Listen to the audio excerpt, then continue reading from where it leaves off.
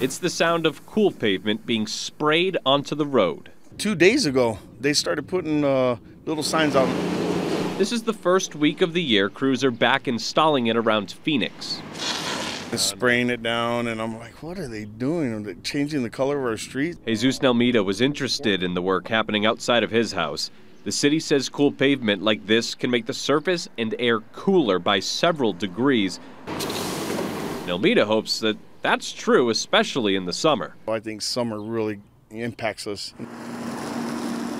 But some pavement installed in the past couple of years had issues this winter.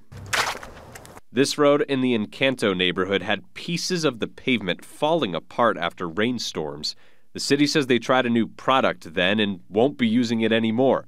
They repaired this area and moving forward will stick with the current option that sticks to the road. This has been a very successful program for the city of Phoenix.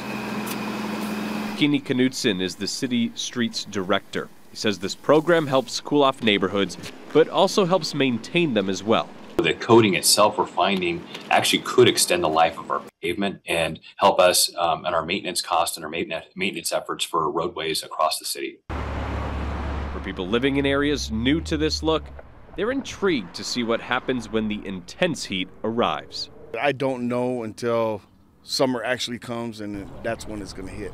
We'll find out from there.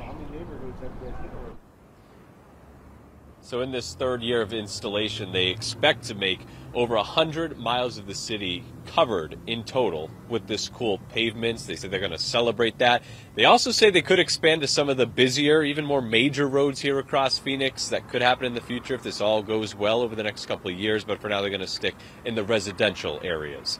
Reporting live in Phoenix tonight, I'm Michael Raimondi for Arizona's Family.